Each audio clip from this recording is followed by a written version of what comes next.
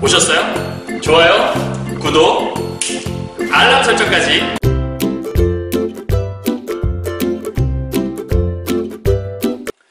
안녕하세요. 경화여고 1학년 학생 여러분, 그리고 전국에서 고1 신사고 국어 교과서를 사용하시는 학생 여러분, 만나서 반갑습니다. 선생님은 세계 최강 국어쌤 조인수 선생님입니다. 자, 선생님 오늘부터 강의를 새롭게 하나 좀 찍어보려고 준비를 했는데요.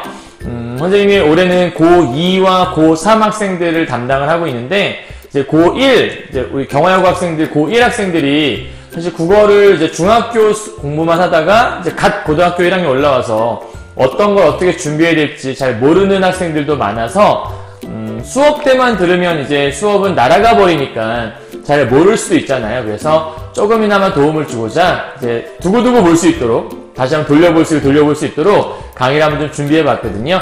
오늘은 그첫 번째 시간으로 이제 이번 경화여고 학생들 시험 범위 중에 현대시 파트가 좀 있길래요. 이제 그 현대시 파트 첫 번째인 윤동주의 자화상이라는 시를 오늘 한번 정리해 보려고 하고요. 더불어서 학습 활동까지 함께 정리해 드릴 거니까 이 신사고 국어 교과서를 사용하신 학생 여러분은 음, 학습 활동까지 깔끔하게 잘 정리하시고 마무리하시면 좋을 것 같아요. 아시겠죠? 자, 그럼 한번 가보도록 할게요. 어, 우선 작품 분석을 좀 함께 하게 될 텐데요. 첫 번째 작품 보도록 할게요. 윤동주의 자화상이라는 작품. 그럼 여러분, 어, 여러분이 현대시를 공부할 때 제일 먼저 중요한 건 일단 선생님이 늘 말씀드리는 건데 시인을 알면 시가 보인다라는 말이 정말 중요한 포인트예요. 그래서 아마 선생님들이 이런 얘기 많이 하셨을 거예요. 윤동주라는 시인은 어떤 시인이냐라고 물어보면 뭐 자아성찰, 반성 뭐 이런 얘기들 많이 하셨을 건데 윤동주는 한마디로 네 글자로 표현을 하면 부끄러움의 시인이다 라고 하는 게 어쩌면 제일 잘 어울리는 아마 시인일 거예요.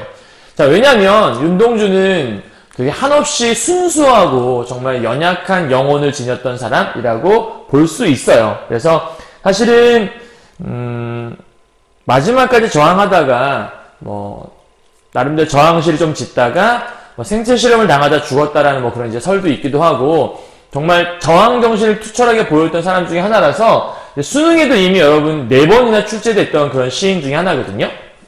근데 윤동주가 이제 부끄러움을 느꼈던 가장 큰 이유 중에 하나가 본인의 이상적인 것과 그다음에 본인의 현재 처해진 현실이 너무나 큰 괴리가 있던 시인이라는 거죠. 쉽게 말하면 본인이 생각하던 그 이상과 그다음에 현실이 괴리감이 있었기 때문에 이 현실은 일제강점기 치하에서 순응하며 살 수밖에 없었던 어떤 안타까운 현실적 자의 모습과 이상이라고 하는 것들은 나름대로의 이 순응하지 않고 강렬하게 저항하며 자기가 생각하는 가장 멋진 모습으로 사는 이러한 자아를 꿈꿨었는데 그래서 윤동주의 시에는 항상 자아가 분열이 일어나요. 자아 분열이라고 하는데 이상적인 자아와 현실적인 자아 뭐 이런 식으로 자아 분열이 그래서 윤동주의 시에서 나라는 단어가 나오게 되면 그 나가 현실적인 자아인지 혹은 어, 이상적인 자아인지를 꼭 한번 확인해 보셔야 돼요. 그래서 이 부끄러움이라는 것들을 갖고 있다는 얘기는 결국 무엇으로 이어질 수 있냐면 세 번째가 자기 반성이라고 하죠. 자아 성찰의 시인이다. 이렇게 연결될 수 있는 거예요. 이제 음, 유학을 가기 위해서 창시 개명을 했다고 하죠. 그래서 그것이 평생의 한이 되어 남았던 그런 시인이기도 하고요. 자, 그런 윤동주가 자화상이라는 작품을 지은 거예요. 여러분 자화상이라고 하는 건 뭐냐면 요건 한마디로 얘기해서 자기 초상화거든요. 근데 자기 초상화를 스스로 그린 작품. 요게 이제 우리가 자화상이라고 보통 얘기를 하는 거죠. 그러니까 스스로가 자기의 모습을 그렸다. 그럼 아, 이 시 속에는 윤동주가 그린 자기의 모습이 드러나겠구나. 그거를 찾기 위해서 노력하시면 간단한 시라고 볼 수 있겠네요. 그죠? 자, 그러면 우리가 항상 모든 시를 볼 때 선생님이 기본 내용을 파악함에 있어서 가장 중요한 건 화자, 상황, 정서, 태도를 파악하라고 늘 말씀드리고 있거든요. 그래서 오른쪽에다가 이렇게 적고 신사고 국어교과서 14페이지에 있어요. 경화여고 학생들은 14페이지 펴놓고 함께 공부를 해나가시면 될 것 같아요. 자, 함께 선생님과 본문을 한번 쭉 읽어가면서 분석을 해보도록 하죠. 어, 중간중간에 시험에선 이런 것들을 나올 수 있다. 이런 것들을 꼭 학습하세요. 문제통에서 꼭 이런 것들도 확인하세요라고 말씀드릴 거니까 잘 보고 따라오시면 좋겠습니다. 준비되셨나요? 혹시 이 시를 지금 한 번도 읽어보지 않았다면 잠깐 시를 읽어보시고 오셔도 좋아요. 스탑. 읽어보시고. 다 읽어봤죠? 갈게요. 자, 산모퉁이를 돌아 논가 외딴 우물을 홀로 찾아가선 가만히 들여다봅니다. 라고 하네요. 자, 일단 화자. 흔히 시 속에서 말하는 화자는 나 아니면 우리로 등장을 하거든요.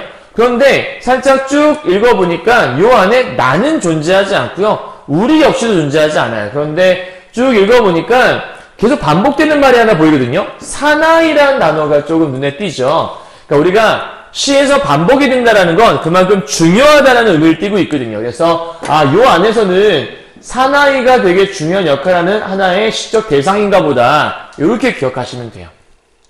요 사나이의 반전이 좀 있긴 한데 자, 계속 보도록 하죠. 산 모퉁이를 돌아 논가 외딴 우물을 홀로 찾아가선 가만히 들여다봅니다. 라고 얘기했어요. 여러분, 여기 우물이라는 단어 그냥 쳐놓고요. 사실 우물에는 물이 있죠.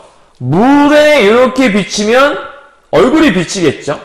여러분 아마 그 뼈다귀를 문 개 이야기 알 거예요. 그래서 그 개가 뼈다귀를 물고 있다가 이렇게 강물을 쳐다보다가 어 그 뼈다귀 맛있겠는데 그러면서 야 뼈다귀 내놔 하면서 왕 짖는 순간에 그 뼈다귀가 떨어져서 자기 뼈다귀마저 잃어버리고 욕심 많은 강아지 강아지 개 이야기를 아마 알고 있을 거거든요.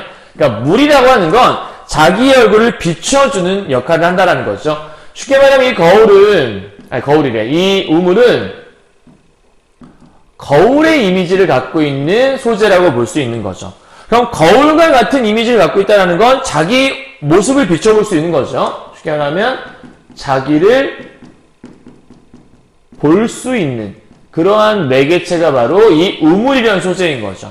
근데 여기 혼자 찾아갔어요. 가만히 들여다보는 모습이 나오죠. 여러분 뭔가를 가만히 들여다본다는 것들은 그 안에 있는 것들을 살펴본다는 거잖아요. 좀 거리감을 두고 보는 거기 때문에 우물 안에 뭐 가까이 붙어서 보는 그러니까 우물 물에 이렇게 얼굴을 막 들이대고 보는 건 아닐 거니까 물은 이제 멀리 떨어져 있겠죠, 그죠? 그래서 이런 걸 우리가 뭐라고 하냐면 관조적인 태도라고 얘기할 수 있는데 여러분 여기서 뭐뭐 합니다 이런 말들 보이잖아요. 음. 친구들한테 야 나 밥 먹었습니다 이렇게 얘기하나요? 그런 얘기 잘 안 하죠. 친구들한테 보통 나 밥 먹었어 이렇게 얘기하잖아요. 그런데 우리가 보통 뭐 먹었습니다란 말은 친구들이 아니라 어른들에게 주로 쓰는 말이에요, 그죠? 그러니까 보통 이런 거죠. 선생님 저 밥 먹었습니다. 저 다녀왔습니다. 뭐 이런 말 쓰잖아요. 그러니까 이때 이 말들은 상대방한테 높이는 말, 쉽게 말하면 경어체를 사용하고 있는 거예요. 그러니까 경어체를 사용한다는 것들은 어떠한 지금 타고자 얘기가 뭔가 그냥 일상적인 가벼운 그런 얘기가 아니라는 것들을 우리가 떠올려 볼 수 있을 텐데 자 계속 보죠. 가만히 들여다본다는 것들은 아마 그 우물 속에 비친 무엇인가를 본다는 거겠죠. 자 우물 속에 뭐가 있냐면요. 동그라미 쳐볼까요? 달이 있고 구름이 있고 하늘이 있고 바람이 있고 가을이 있대요. 그리고 한 사나이 이제 포인트가 여기 있네요. 그죠? 자, 우물 속에는 달과 구름과 하늘과 바람과 가을과 한 사나이가 있다고 하죠. 그럼 여기는 이 동그라미 친 것들을 쭉 종합하게 되면 종류를 쭉 나열하고 있으니까 시험에서는 이런 거 물어볼 수 있겠죠. 열거라는 말을 물어볼 수 있겠고요. 열거법이라고 하고 이것들은 종류를 나열하고 있다라고 설명할 수 있어요. 자, 그리고 재밌는 표현인데 요 파란이란 말 보이죠? 원래는 파란이라고 써야 되는데 파아란이라고 돼 있잖아요. 먼이 아니라 머언 이런 것처럼 그래서 이런 거를 시에서만 허용한다라고 얘기해서 우리는 시적 허용이다라는 말을 쓰는데 사실은 수능에서는 이러한 시적 허용을 어떻게 쓰기도 하냐면 이 시적 허용 말 대신에 음절수를 조절하여 이렇게 물어볼 수도 있을 거예요. 그러니까 음절수를 조절한 것들은 음절은 하나의 마디를 얘기하는 거잖아요. 그러니까 두 글자를 세 글자로 늘렸으니까 음절수를 조절했다고 볼 수 있는 거겠죠. 그럼 지금 우리가 보고 있는 풍경, 우물 속에 보는 풍경이 어떻냐면 지금 여기서부터 시작을 해서 여기까지요. 그죠? 이 열거법으로 나열되었던 이 공간은 지금 굉장히 아름다운 풍경이 제시되고 있는 거죠. 아름다운 풍경이 들어있다. 됐나요? 그러니까 지금 굉장히 순수하고 아름다운 풍경인데 반면에 잠시 후에 나올 이 화자의 모습은 너무 싫은 거예요. 그 모습이 어디냐면 여기요. 왜? 한 사나이가 있는데 어쩐지 그 사나이가 미워져 돌아간대요. 자, 첫 번째 정서가 나와요. 일단 첫 번째는 미움이라는 정서가 연에 들어가요. 자, 누굴 봤는데요? 한 사나이를 봤어요. 그 한 사나이 뭐냐면 지금 현재 우물을 들여다보는 그럼 이야기 끝났죠. 아, 지금 우물을 들여다보니 그 안에 한 사나이가 있었고 그 사나이가 굉장히 밉다라는 거예요. 그럼 우물을 들여다봤다라는 거는 그곳에 비친 그 사나이를 봤을 텐데 설마 우물을 봤는데 거기서 살려주세요 하는 어떤 사람이 있었을까? 그런 사람이 있진 않을 거예요. 그죠? 그러니까 아마도 자기의 얼굴. 아, 그러면 이 한 사나이는 자기의 모습이겠죠. 이렇게. 이해가셨나요? 그럼 이때 자기의 모습인데 이게 너무 밉다라는 거예요. 왜냐하면 밉다라고 했으면 그 대상이 좋은 상태는 아니라는 거겠죠? 따라서 이때 한 사나이 자기 모습, 미운 모습은 우리 앞에서 윤동주의 자아는 두 가지라 그랬잖아요. 이 자아는 현실적 자아의 모습이겠구나라고 짐작해 볼 수 있는 거예요. 왜 현실적 자아의 모습이냐? 그냥 현실을, 현실에 안주하는 자기가 싫어하는 모습인 거죠. 나는 이렇게 살고 싶지 않은데 그 우물 속에 이런 모습이 있는 거죠. 그러니까 여러분 봐요. 이 아름다운 풍경과 대비되는 이것과 현재 화자의 모습이 너무 대비되는 거예요. 왜? 화자는 너무 초라한 모습인데 그 안에 있는 풍경은 너무나도 예쁜 모습이 있거든요. 이해하셨나요? 이렇게 예쁜 풍경이 있습니다. 그리고 한 사나이가 있더라고요. 어쩐지 그 사나이가 미워져 돌아갑니다. 그러니까 처음에는 왔어요. 들여다보는 행위였죠. 그러니까 현재 들여다보는 행위여서 미움을 느껴요. 그리고 뭐 하냐면 다음 상태는 돌아가죠. 돌아가 이런 상태가 있는 것 같아요. 넘어가죠. 돌아가다 생각하니 그 사나이가 가엾어집니다. 라고 얘기해요. 여러분 가엾다라는 말을 두 글자로 바꾸면 흔히 말하는 문학이나 수능에서 잘 쓰는 용어 중에 하나 뭐가 있을까요? 불쌍히 여기는 마음. 이응 미음이 들어간다는데 이응 미음. 미음 이응이 아니라 이응 미음. 뭐 있죠? 연민이란 단어 혹시 들어보셨죠? 연민? 그러니까 지금 처음에는 미웠는데 그 사람이 왠지 연민이 느껴지는 거예요. 왜냐면 나잖아요, 나. 여러분 아침에 그 이제 화장실에서 깨끗하게 샤워를 하고 거울을 딱 보면 굉장히 만족스럽나요? 어우, 괜찮은데 뭐 이런 생각 드나요? 대부분은 이제 다 거울 보면 어 뭐야 이거 아 왜 이렇게 살쪘나? 아 이거 뭐야 잡티인가? 뭐 그래서 자기 스스로 이제 돌아보게 되는 거잖아요. 그래서 때로는 이제 너무 이제 막 살찐 거 같고 아 보기 싫어서 간단 말이에요. 근데 너무 보기 싫어서 갔는데 돌아가다 생각해 보니까 결국은 저 모습은 나의 모습이잖아요. 그 내가 나를 싫어한다는 게 너무 불쌍한 거예요. 어 그래도 난데. 그러니까 지금 불쌍해서 가엾은 마음에 도로 가서 다시 들여다보는 거죠. 다시 가서 보니까 사나이가 그대로 있겠죠. 어디 갔겠어요? 왜냐하면 이렇게 내려다보면 그걸로 비칠 거니까. 다시 또 그 사나이가 미워져라고 나와요. 그러니까 지금 정서가 미웠다가 연민있다가 또 다시 미움을 느끼고요. 그죠? 그 다음에 돌아가다 생각하니 또다시 사나이가 그리워집니다. 라고 얘기해요. 이번엔 와 그리움까지 가네요. 자, 마지막 단계인 것 같아요. 그리워집니다. 그러니까 지금 이 작품은 정서의 변화에 따라서 시가 지어지고 있는 거예요. 미웠다가 불쌍했다가 미웠다가 그리웠다가 하는 것까지 행위가 반복되긴 하지만 그 반복되는 행위 속에서 정서가 변화하고 있는 모습을 살펴볼 수 있죠. 자 그렇다면 어, 앞에서 얘기할 때 미워져 돌아갑니다. 미워져 돌아갑니다. 라고 되어 있는 거 보니까 아 기본적으로 식구가 반복되고 있구나. 반복법이라는 게 이 안에 쓰여 있다고 볼 수 있겠고요. 또 하나 이제 마지막인데요. 우물 속에는 달이 밝고 구름이 흐르고 하늘이 펼치고 파란 바람이 불고 가을이 있습니다가 원래 여기 있었는데 있습니다에다 더해서 있고 추억처럼 사나이가 있다고 써있죠. 그럼 여러분 지금 아까 첫 부분에서 요 부분까지가 있었거든요. 그죠? 앞부분에서 요 모습이 있었는데 여기다가 지금 하나가 더해져 있는 거예요. 그렇다면 지금 이 부분은 앞에 부분에 비해서 뭐가 생긴 거냐면 일종의 점층법이 쓰이고 있구나. 요걸 우리가 체크해 볼 수 있겠네요. 글자 수가 더 늘어났잖아요. 덩어리가 하나 더 들어갔다고 보시면 되는 거예요. 그럼 이때 이 우물이라는 존재는 뭐냐? 결국은 앞에서 말했던 그 우물이라는 존재는 아까 나를 돌아보게 만드는 자아 성찰의 매개체였잖아요. 그죠? 자기를 돌아보게 하는 그 자아 성찰의 매개체였단 말이에요. 그 마지막에 있는 저 우물이라는 존재가 조금 달라졌어요. 뭐 비슷하다 볼 수 있겠지만 여기서 추억처럼 사나이가 있다고 나오죠. 사실 이제 어, 웬만한 책들에서는 이 추억처럼이라는 말을 어떻게 해석을 하냐면 지금의 이 부끄럽기 이전의 모습, 쉽게 말하면 일제강점기가 왔을 때 이런 부끄러운 모습이 생겼잖아요. 그런데 그 전에 자기의 모습은 그다지 부끄럽지 않고 아주 멋지게 살고 있었을 거예요. 그럼 과거의 추억의 모습은 뭐냐면 과거에 순수했던 자, 흔히 말하는 자기가 원하는 그 이상적인 자아의 모습이라고 볼 수 있겠다라고 설명이 가능한 거죠. 아까 우리가 봤던 그러한 평화로운 아름다운 자연과 함께 있는 사나이잖아요. 그죠? 있고 있습니다. 거기 자, 아까는 그런 자연이 있습니다. 그리고 사나이가 있어요. 별개의 존재였단 말이에요. 근데 이제는 여기에 가을이 있고 추억처럼 이 사나이가 함께 있는 거예요. 그러니까 아까보다 훨씬 나아진 상태의 모습인 거죠. 따라서 앞에서 말했던 그 미운 사내하고 얘하고는 이렇게 해서 그 미운 사나이 하고 대조를 이루고 있구나. 이렇게 볼 수 있다는 거죠.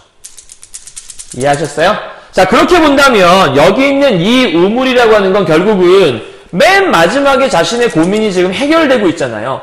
너무나 미웠고 짜증났고 불쌍하기도 했고 결국 그립다라고 하는 건 여러분 그립다라는 감정이 좋은 감정이에요? 안 좋은 감정이에요? 그립다라는 건 누군가를 보고 싶다는 감정이잖아요. 쉽게 말하면 마이너스 감정에서 출발을 했지만 결국은 플러스 감정으로 끝나게 된 부분이라고 볼수 있거든요. 자 그렇다면 이 우물이라는 게 있었기 때문에 결국은 이 안 좋았던 자아, 현실적 자아가 이런 이상적인 자아로 바뀌었다라고 합일이 되었다라고 지금 설명하고 있는 모습이라고 생각한다면 여기는 이 우물이라고 하는 건 내적 그 갈등. 그러니까 지금 이 모든 건 자기 안에서 일하는 갈등이잖아요. 그 내적 갈등이라는 게 해소될 수 있었던 내적 갈등 해소의 매개체다라는 말도 여기다가 설명할 수 있다라는 거죠. 이해하셨어요? 결국은 끊임없는 자아 성찰 과정을 통해서 안 좋았던 자신의 모습을 좋도록 만들어가고 있는 모습이다라고 설명할 수 있는데요. 이게 작년에 여러분 이 추억처럼이란 말을 작년 EBS 수능 특강 3학년 언니들을 위한 그 과정이었죠. 그 수능 특강에서 이 추억처럼 사나이를 또 어떻게도 해석을 했냐면 이렇게 해석을 했어요. 그러니까 추억처럼 사나이가 있습니다는 지금의 그 안 좋았던 모습을 추억으로 남겨버리고 싶다. 이런 의미였어요. 그렇게 본다면 추억처럼 사나이는 플러스의 모습이 아닌 거죠. 긍정적인 모습이 아니라 왜냐하면 추억 속으로 남기고 싶은 모습은 지금의 안 좋았던 모습은 추억으로 남기고 이제는 좋은 모습으로 변화해서 가고 싶다라고 하는 거잖아요. 무슨 말인지 이해가요? 그렇게 본다면 추억처럼 사나이는 긍정적인 쇼로 볼 수 없다라고 하는 게 작년 수능 특강에서의 해석이었거든요. 근데 일반적으로는 이쪽을 순수했던 자아 해석을 많이 하거든요. 그래서 요거는 사실은 뭐 작년 수능 특강에서는 그런 해석도 있었으나 음, 학교 시험에서 출제할 때는 학교 선생님이 가르쳐 주신 방향을 따라가는 게 좋아요. 수능이었다면 뭐 여러 가지 가능성이 있는 거니까 보기를 제시하겠죠. 보기를 주고 그 보기에 맞춰서 해석을 해나갈 텐데 지금은 뭐 보기를 지금 준 상태가 아니기 때문에 이 부분에 관한 해석은 학교 선생님이 어떻게 해석하시느냐에 따라 달라질 수 있을 것 같거든요. 선생님 개인적으로는 이 해석도 맞는 것 같고요. 그 다음에 과거처럼 남긴다라는 것도 어 그런 해석도 있을 수 있겠구나 라는 생각이 들기는 해요. 어쨌든 과, 지금 자신의 부끄러운 모습을 과거로 남기고 싶어. 그래서 추억처럼 추억 같은 사나이로 남겨버리자 이런 의미라고도 볼 수 있겠으나 추억처럼 사나이가 있다는 얘기는 안 좋았던 모습들 이제 그리워한다는 얘기니까 다시 그 사람이 보고 싶어요 이런 거잖아. 그럼 보고 싶다라는 거는 좋은 모습이 보고 싶지 않을까? 안 좋은 모습은 보기 싫을 거니까. 결국은 이 그리움이란 것들은 자기 긍정의 모습으로 바뀐다는 거니까 이 신사고 국어 교과서의 교사용 지도서를 보면 어, 이거를 만들 때 그 취지 자체가 좀 긍정적인 모습을 많이 해석이 되어 있는 것 같아요. 이해하셨어요? 그럼 이제 전체적인 맥락은 무슨 말인지 이해 가셨죠? 이 내용들 잘 기억한 상태에서 자 이제 어, 시를 잘 기억하려면 도식화하는 작업이 좀 필요하거든요. 잠깐 도식화하는 작업을 함께 해보도록 하죠. 자, 이 시는 네 가지를 연결할 수가 있어요. 감정상. 첫 번째 뭐가 들어갈지 여러분 알겠죠? 저기 들어갈 게 뭐죠? 그렇지. 여기서는 일단 미음이 들어가야겠죠. 처음에. 미음이 들어가야 되겠고. 그 다음은요. 연민이 들어가야 그 다음은요. 다시 미음 들어가야 그 다음은요. 그렇지. 그림의 단어가 들어가야 되겠죠. 그럼 여기서 끝나면 되냐? 그게 아니죠.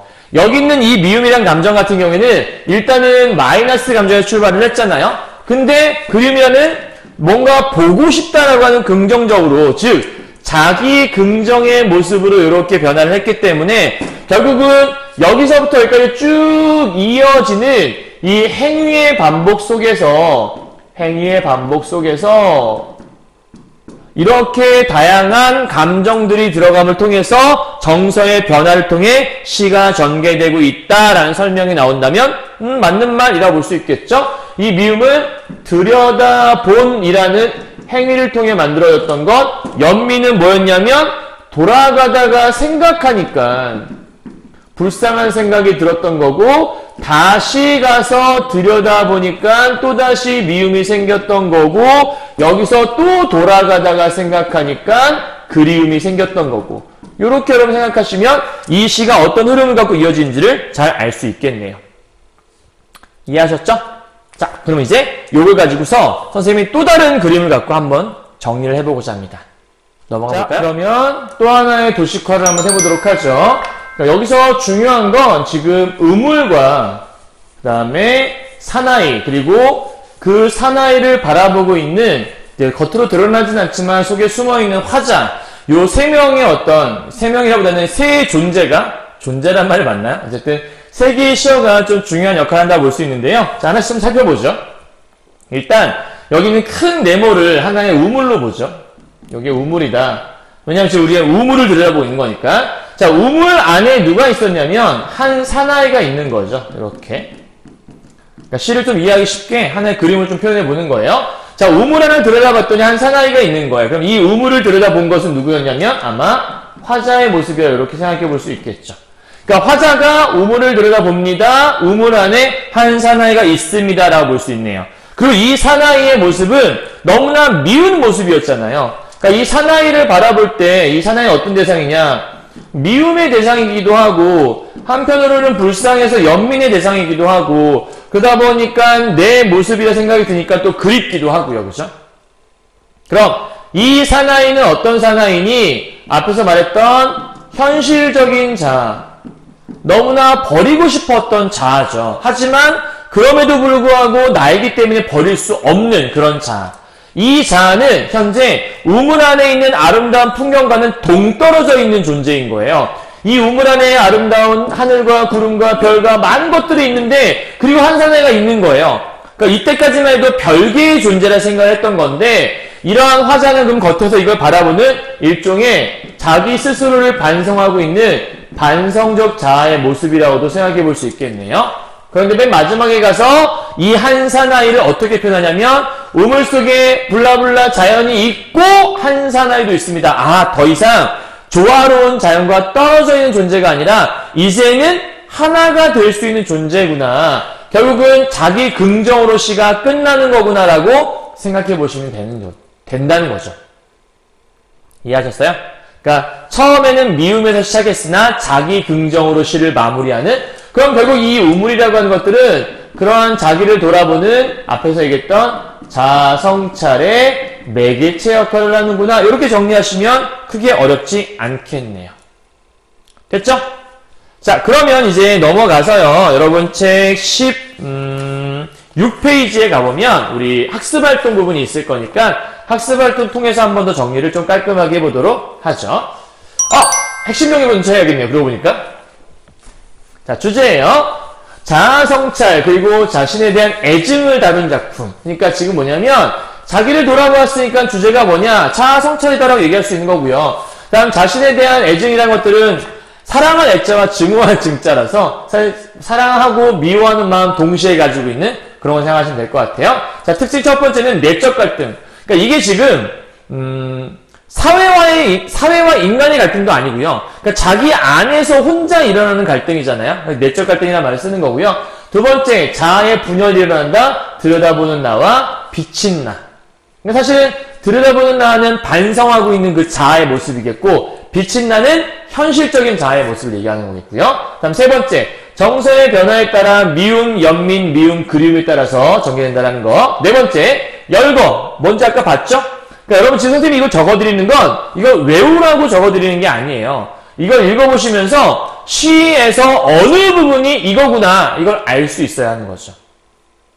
열거는 달도 있고 다음에 아까 보니까 발, 달이 밝고 구름이 흐르고 하늘이 펼치고 바람이 불고 이런 거 있었잖아요. 그럼 열거라고 하는 건 미워져 돌아갑니다라는 단어들이 여러 차례 반복이 되었죠. 그죠?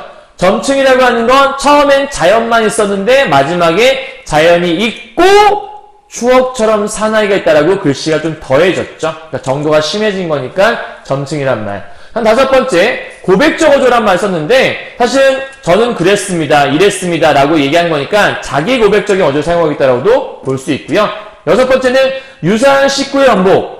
이게 다른 말로 유사한 통사 구조의 반복이란 말을 쓸 수 있는데, 문장 구조가 비슷한 것들이 두 번 이상 반복되고 있으면, 이런 말을 쓸 수 있는 거죠. 보면 알겠죠? 아까 뭐 들여다봅니다나 아니면 미워져 돌아갑니다. 이것들이 반복되고 있었으니까, 어쩌면 얘하고 이 반복은 같이 가는 거라 볼수 있겠네요. 되셨나요? 자, 그렇다면 아까 얘기했던 대로 16페이지 핵심 정리, 아니, 그 학습 활동 부분 한번 가보도록 할게요. 자, 1번 문제입니다. 다음 활동을 통해 이 시의 내용을 파악해 보자. 요 부분이에요. 산 모퉁이 돌아 첫 번째 부분이었잖아요. 여기서 화자와 사나이의 관계가 무엇이었는지 찾아보자 얘기하는 건데, 자, 이렇게 쭉 읽어보고 난 다음에 화자는 어디에서 뭐 하고 있습니까? 어디에요? 우물이요. 뭐 하고 있죠? 자기를 들여다보고 있죠. 그래서 우물에 비친 자기를 들여다보고 있다. 뭐 어려운 말은 아닐 거예요. 두 번째. 그럼 사나이는 누굽니까? 비친 모습이니까 당연히 화자 자신이라고 얘기할 수 있겠죠. 뭐 말하지 않아도 여러분 잘 알 수 있겠죠. 다음 2번 문제입니다. 방금 전에 봤던 그 1을 바탕으로 이 시에서 우물이 어떤 역할을 하고 있습니까? 라고 물어보네요. 우물은 그럼 어떤 역할을 했죠? 사실 이 우물이라는 것들은 아까부터 얘기했지만 그 거울이라든지 혹은 유리창 이것들과 같은 기능을 하는 거거든요. 그럼 유리창이나 거울은 자신을 비춰볼 수 있는 기능이니까 아 그러면 자기를 돌아본다라는 자아 성찰의 매개체가 되겠구나 뭐 요 정도 얘기할 수 있겠네요. 그럼 세 번째요. 1과 2를 고려해서 이 시의 제목을 자화상이라고 왜 지었을까? 결국 자화상은 자기 스스로를 그린 그림이라면서요. 그러면 이런 거죠. 자기 스스로 그린 내 추상화다. 아, 내 삶을 스스로 되돌아보며 자기의 모습을 그려가면서 성찰, 즉 반성하는 모습을 표현하기 위해 자화상이라는 제목을 지었구나라고 생각하시면 되는 거죠. 됐죠? 자, 1차적인 내용이었어요. 다음 두 번째 내용이에요. 다음 활동 통해서 시상 전개 과정과 화자의 행위 및 정서, 우리가 시에서 제일 중요한 건 정서라고 하니까요. 그래서 어떤 행위를 하고 있고 그 과정에서 정서가 어떻게 변하는지를 살펴보자. 처음엔 들여다봤죠? 들여다본 다음에 뭐 했죠? 돌아가다가 생각을 해봤죠. 왜? 너무 미웠으니까. 돌아가다 생각해보니까 좀 불쌍했잖아요? 다시 가서 또 들여다봤죠? 그러니까 또 미웠잖아요? 그래서 다시 돌아가다 또 생각을 하게 되죠. 그럼, 돌아가다 생각하니까, 어, 불쌍해, 연민. 다시가 들여다보니까 여전히, 아우, 미워. 그쵸? 미움. 또 다시 돌아가다 생각하니까, 그래도 나의 모습인데, 아우, 안타까워 하는 그리움으로 정서가 끝나게 된다는 거 말안 해도 알 수 있을 겁니다. 되셨나요? 자, 그렇다면 이제 마이너스 감정에서 얘기했지만 플러스의 자기 긍정의 모습으로 바뀌는 모습을 쭉 설명하고 있다. 이렇게 보시면 되겠네요. 넘어가죠. 자, 이래서 살펴본 화자의 행위, 양상과 정서 변화가 무엇을 의미하는지 말해보자 라고 얘기했어요. 이게 뭔 얘기냐면 방금 얘기했던 그 정서들 얘기하는 거예요. 미움과 연민과 다음에 다시 미움과 그리움으로 이어지는 이게 도대체 어떤 것들을 말하고 싶어서 이렇게 발전했니? 라고 물어보는 거거든요. 결국 여기에서 이 그리움이라고 하는 것들 안 좋은 것에서 시작했지만 결국은 자기 스스로를 긍정하게 되는 모습이 되는 거예요. 그리고 진정한 자기를 발견하는 모습으로 시가 끝나고 있는 거고요. 그래서 이 정서 변화가 무엇을 의미하냐면 이런 것들을 하게 된다는 걸 설명하고 있는 거죠. 되셨죠? 다음에 3번 문제 한번 가보도록 할게요. 자, 다음 활동 통해서 사나이에 대한 화자의 인식이 어떻게 변화했는지 살펴보세요. 어, 우물 속에 달이 밝고 구름이 있고 가을이 있는데 한 사나이가 있는데 미워져 돌아갔다고 얘기했어요. 그럼 여기서 자연, 그러니까 여기는 지금 자연의 모습인 거죠. 요 위쪽은 자연에 대한 인식인 거고 요 밑에 쪽은 사나이에 대한 이야기가 이렇게 있는 거고요. 그렇다면 자연의 의미가 무엇이냐? 아름다운 자연이잖아요. 그래서 아름답고 조화로운 질서를 지닌 곳을 의미하고 있다라고 생각하면 되는 거고요. 다음 두 번째.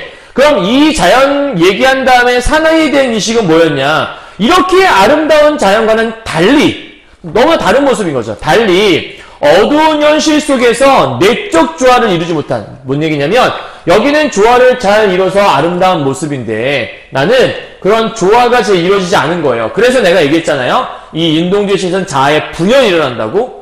자기가 생각하는 아름다운 모습과 자기의 지금 현실적인 모습이 너무 갭이 크기 때문에 조화를 이루지 못하고 있는 거예요. 그로 인해 속상한 거죠. 그래서 초라한 자신을 미워하는 모습을 바로 이 사나이를 통해서 드러내고 있다라고 설명할 수 있는 부분이에요. 자, 그렇다면 이런 내용을 토대로 해서 넘어가 보면 다음 19에서 화자가 사나이를 어떻게 인식하고 있는지 파악하고 1에서 살펴본 사나이에 대한 화자의 인식과 비교해보자 얘기했잖아요. 아까는 자연과 별개, 즉 자연, 조화로운 자연과는 다른 존재로 나는 부조화를 이룬 인간이라 생각했거든요. 근데 이제 좀 달라진 거예요. 아름답고 조화로운 자연 속에 내가 있을 수 있겠구나 라고 생각을 하게 되면서 동시에 사나이에 대한 미움과 연민의 마음이 자기긍정이란 것들로 바뀌어가는 모습을 잘 설명하고 있는 시다라고 얘기할 수 있는 거죠. 되셨나요? 네, 그렇게 크게 어려운 내용 아니니까 이런 내용들만 잘 기억해 주시면 좋겠고요. 포인트가 어디 있냐라 물어본다면 누가 뭐래도 이러한 미움과 연민의 모습을 갖고 있다가 자기긍정이란 것들로 변화하고 있다는 게 하나의 중요 포인트가 될 수 있겠네요. 자, 그럼 이제 4번 보도록 할게요. 자, 2년과 6년을 중심으로 이 시에 드러난 표현상의 특징과 그 다음에 그 효과를 파악해보자 얘기했어요. 그러면 표현상의 특징이 무엇이냐 물어봤는데 일단 아까 처음에 이게 있고 이게 있고 이게 있고 이게 있어요 라고 얘기했던 거니까 아 열거. 그죠? 그 다음에 어 돌아 다시 들어가 돌아봅니다. 돌아가다 미워지니. 그래서 반복이 있었고. 그 다음에 아까 추억처럼이란 말 있기 전에 점층도 있었잖아요. 그럼 각각의 지닌 의미는 이 열거가 결국은 수많은 자연들이 하나 둘 셋 넷 나열되는 걸 통해서 자연은 그렇게 다양한 것들이 섞여서 조화로운 질서를 유지하고 있단다. 이런 얘기한 거고요. 다음 반복은 왜 했냐? 되게 반복은 강조를 위해 하는 거예요. 의미를 강조하기 위한 거죠. 어떤 의미인데요? 유사한 식구를 반복해서 아까 뭔가를 들여다보는 행위 있잖아요. 그러니까 그런 돌아보는, 들여다보는 행위를 강조하기 위해서 가져온 것들. 스스로를 반성한다는 의미를 갖고 있는 거죠. 자, 마지막. 점층을 통해서 뭘 얘기하고 싶었냐? 화자의 성숙해가는 과정. 처음에는 사나이가 없었다가 마지막에 사나이가 그 안에 포함될 수 있다라는 그런 의미를 심한 부분이 들어있다라고 설명할 수 있는 거예요. 되셨나요? 다음 넘어가 볼게요. 다섯 번째입니다. 다음은 자화상이 쓰였던 시기와 같은 일제강점기에 쓰였던 이육사의 시 절정에 관한 시이다. 경화여고 학생들은 이육사의 절정도 시험 범위에 들어가더라고요. 그래서 선생님이 이 절정에 대한 것들을 정리를 살짝 해드리고자 합니다. 자, 시를 좀 확장해서 이렇게 보도록 하죠. 정리할 준비 됐나요?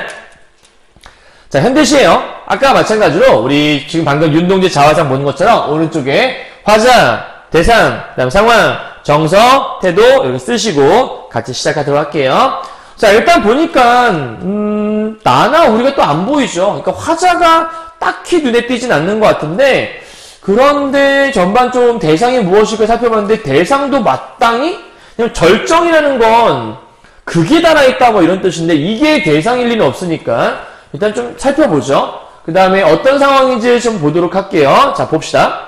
이육사란 시인 먼저 좀 알아야겠죠? 죄송해요. 이육사란 시인은 저항 시인으로 유명한 사람이죠. 오죽했으면 자기의 어떤 그 죄수번호 264번을 호로 삼았던 사람이기도 하니까. 그럼 저항 시인이라는 건 결국 일제강점기에 살아갈 때 일제에 저항했던 시인들을 우리가 저항 시인이라고 얘기를 하는데 그렇다면 264의 시에서 마이너스와 플러스가 나온다고 한다면 이때 플러스는 뭐 독립에 가는 걸 얘기할 것이고 마이너스는 일제강점기에 대한 걸 얘기하는 게 아닐까. 쉽게 말하면 혹독한 현실, 암울한 현실, 거기서 말하는 희망 이런 것들을 의미한다고 볼 수 있을 것 같은데 자 보죠. 매운 계절의 채찍이 갈겨. 그럼 맵다라는 게 여러분 매운 게 좋은 건 아니잖아요. 채찍 역시 좋은 게 아니잖아요. 그러면 매운 계절의 채찍이라는 말이 의미할 수 있는 건 이게 이제 음, 정확하게 이런 건 아니지만 만약에 보기에서 시대상이 일제강점기다라고 얘기한다면 뭐 일제강점기 치하의 시련 정도로 그냥 한마디로 그냥 시련이라고 표현하죠. 이러한 시련의 갈겨, 시련을 맞다 보니 마침내 북방으로 휩쓸려 왔대요. 여러분 북방이란 건 북쪽 지역이잖아요. 북쪽 지역까지 열심히 걸어서 올라가면 북쪽으로 갈 수가 있어요. 그죠? 근데 북방이란 곳은 그럼 걸어서 갈 수 있는 수평적인 공간인데 수평적인 공간에서의 마지막 끝 지점, 수평적인 한계 지점이라고 얘기할 수 있어요.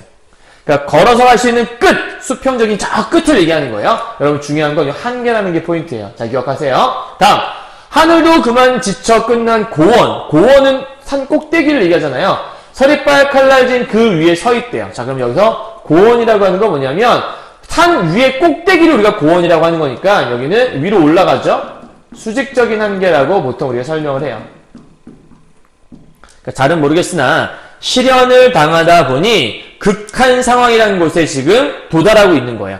한계점에 도달했다는 얘기겠죠. 근데 여러분 서리빨 칼날진 그 위에 서 있대요. 사실 칼 위에 서 있는 건 발이 쪼개질 수도 있는 거 아니에요? 그러니까 굉장히 위태로운 상황이거든요. 이거는 어마어마하게 위태로운 상황. 한마디로 얘기하면 굉장히 극한 상황이라는 걸 우리가 엿볼 수 있어요. 그리고 어디다 무릎을 꿇어야 하나? 우리가 보통 무릎을 꿇는다는 것들은 보통 항복을 할 때도 쓰이지만 뭔가 간절하게 기도할 때에도 무릎을 꿇어요. 그러니까 여기서 무릎을 꿇는다는 건 이런 극한 상황 속에서 무릎을 꿇는다는 건 간절한 바람인 거죠. 아 제발 제발 나를 구해 주소서라고 하는 어떤 기도의 어떤 마음.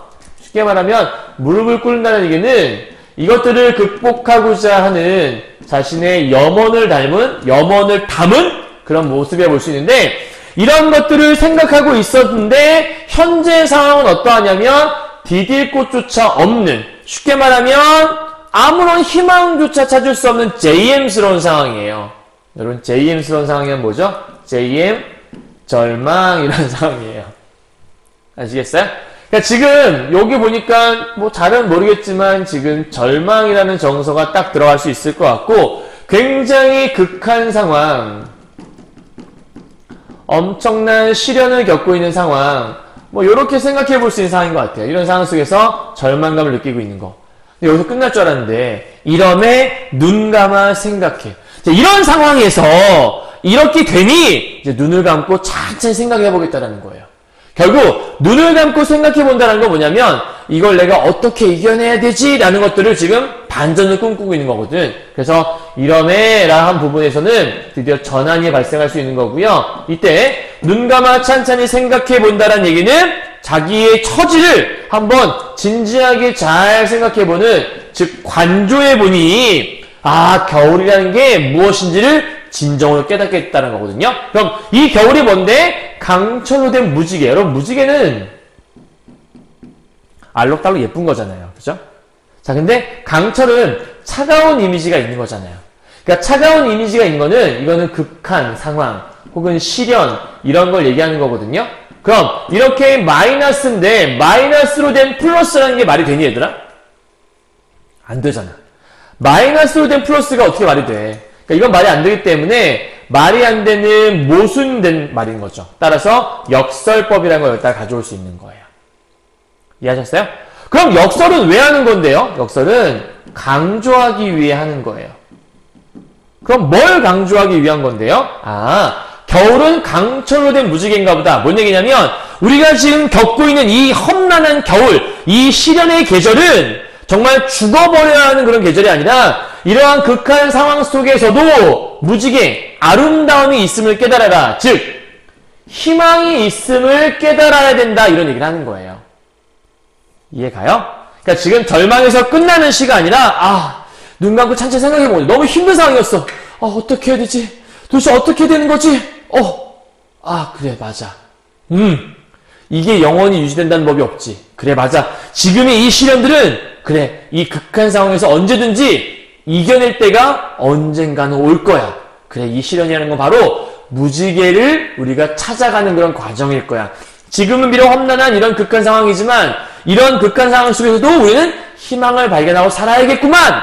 이런 얘기를 하는 거라 볼 수 있는 거죠. 따라서 이 시는 절망이라는 걸 끝나는 것이 아니라 마지막에 희망을 엿보면서 시가 종료되는 거예요. 그러니까 이육사 시인이 저항 시인이라고 했잖아요. 절망으로 끝날 리가 없죠. 그래서 거기서 끝내지 않고 희망을 엿보는 이야기. 자, 요게 시험에 나온다면 여러분 낼 만한 게 이제 뻔히 보이죠? 뭐 수평적인 한계나 수직 이거 내용적인 걸 물어볼 거예요. 뭐 기억니은 쓴 다음에 이것은 뭐 수직적인 한계를 의미하는 거죠. 수평적 한계를 의미하는 거 이런 거 물어보겠죠. 그 다음에 여기 보게 되면 디딜, 디딜 곳조차 없다란 것으로 보아 굉장히 절망스러운 상황을 여- 노래하고 있군. 이라든지 아니면 강철로 된 무지개라는 역설적인 표현을 통해 뭐 이런 것들 나오겠죠. 이해 가셨나요? 그리고 하나 더 얘기하자면 하나, 둘, 세 개, 네 개 연이잖아. 현대 시임에도 불구하고 네 덩어리로 되어 있는 걸 보면 기승전 결로 되어 있는 우리가 보통 기승전결은 한시에 주로 등장하는데 이 현대시 이육사의 절정은 기승전결 구조로 되게 유명해요. 어? 선생님 기승전결 구조가 무엇이죠? 기승전결은 이렇게 된 구조를 얘기하거든요. 그래서 무엇인가 감정이 극에 달해 있다가 마지막 결, 이 결은 맺을 결자잖아요. 맺음. 그러니까 여기서 뭔가 마무리, 진정이 된다라는 거예요. 이 시가 그러하죠. 처음에는 수평적인 한계를 맛봤죠. 여기서 더 이상 할 수 있는 게 없으니 위로 올라가 보는데 결국 수직적으로 한계를 맞이하게 되죠. 거기서 디딜 곳이 아무것도 없다는 걸 느끼면서 절망을 느끼게 되죠. 완전 포기 상태였다가 아 생각해보니 그래 그래도 희망이라는 게 존재하지 않을까 맺음을 맺고 있죠. 그래서 안 좋아 안 좋아 안 좋아 살짝 좋아지면서 맺고 있는 기승전결 구조라고 볼 수 있는 파트인 거예요. 되셨죠? 자 그럼 이제 이 작품에 대한 것도 똑같이 정리를 해야겠죠? 이것만은 꼭꼭꼭입니다. 자 주제예요. 극한 상황을 인식해라. 이 인식해라가 아니라 인식하고 있는 작품이고요. 그다음 더불어서 그것에 대한 극복 의지를 노래하고 있는 작품. 그래서 아까 맨 마지막에 무지개를 바라보자라고 하는 무지개인가 보다라는 얘기는 그래 이것들 이겨낼 수 있으니 우리가 버텨보자라고 하는 거거든요. 그래서 의지적인 태도가 엿볼 수 있는데 사실 이육사 씨의 시는 남성적인 어조가 드러나 있다고 얘기를 하고요. 거기서 이제 의지를 엿볼 수 있다라고 많이들 설명을 해요. 다음 두 번째. 맨 마지막에 역설이 있었죠? 강조하기에 쓰는 거고요. 세 번째. 상징적 시를 활용하고 있다. 이게 뭔 얘기냐면 여기 나오는 무지개가 진짜 무지개가 아니잖아요. 그쵸? 그리고 뭐 북방도 마찬가지고 진짜 북방이나 혹은 진짜 고원을 얘기하는 것이 아니라 어떤 극한 상황을 얘기하기 위해서 가져온 도구라고 볼 수 있는 것들이죠. 그래서 진정한 사실적인 의미보다는 상징적인 의미가 들어있다는 것. 시의 기본으로 들어있는 거죠. 마지막 네 번째가 기승전결 구조로 되어 있다는 것도 하나의 특징. 자, 이제 정리됐죠? 그럼 이러한 이 이육사의 절정과 우리가 앞에서 배웠던 자화상이라는 게 어떠한 차이가 있는지를 살펴보자라는 거예요. 자, 자화상 같은 경우는 어떤 어조였습니까? 아까 뭐뭐 씁니다 라고 얘기했잖아요. 그러니까 요거는 우리가 종교라면 뭐뭐 씁니다 라는 건 자기를 고백할 때 제가 이랬어요. 제가 이랬습니다. 제가 이랬습니다 라고 할 때 쓰는 자기 고백적 어조. 그러니까 태도가 자기 성찰, 자기를 고백함으로써 자기를 반성하고 있는 모습인 거잖아요. 그런데 이육사의 절정은요, 뒤에 보게 되면, 뭐뭐 다, 휩쓸려 오다, 서다, 없다. 그러니까 없다. 단정을 내리는 거예요. 단정적 어조라고 얘기하는 거죠. 그럼 이렇게 단정을 내림으로써 뭐 하는 건데? 그래! 바로 이게 희망이 있다! 라고 얘기하면서 의지를 불태우고자 하는 태도라고 볼 수 있는 거죠. 되셨나요? 여기까지? 어렵지 않았죠? 자, 그래서 여기까지 해서 학습활동 정리는 다 한 거고요. 뒤에 나머지 것들은 뭐 딱히 정리할 게 없어서 여기서 강의를 좀 마무리하도록 하죠. 내일은 이제 다른 시, 어, 신사고 국어교과서에서 현대시 중에 3단원에 있는 고재종의 첫사랑이라는 시가 있거든요. 그 시를 하나 강의를 해드리고 더불어서 이제 그 신사고 국어, 국어 교과서에 문법 파트도 있고 비문학 파트도 있더라고요. 그래서 선생님이 한번 어, 요 고재종의 첫사랑까지 하고 난 다음에 여러분이 제일 어려워하는 문법 파트를 먼저 좀 찍어보도록 하고요. 그 다음에 좀 시간이 되면 이제 그 비문학 파트나 소설 최척전이나 이런 것들을 좀 찍어서 시험 보기 전에 한번 학습할 수 있도록 만들어 보도록 하겠습니다. 여러분 고생하셨고요. 어, 오늘 수업은 여기서 마무리하도록 하겠습니다. 정말 고생 많으셨고 이제 다음 볼 때까지 요거 오늘 공부한 것들 오늘 두 개 배운 거예요. 어, 윤동주의 자화상이라는 시하고 이육사의 절정이라는 시꼭 선생님이 알려드린 거 다 머릿속에 집어넣으셔서 시험 때 좋은 결과 있었으면 좋겠습니다. 자, 고생하셨고요. 다음 시간에 뵙도록 하죠.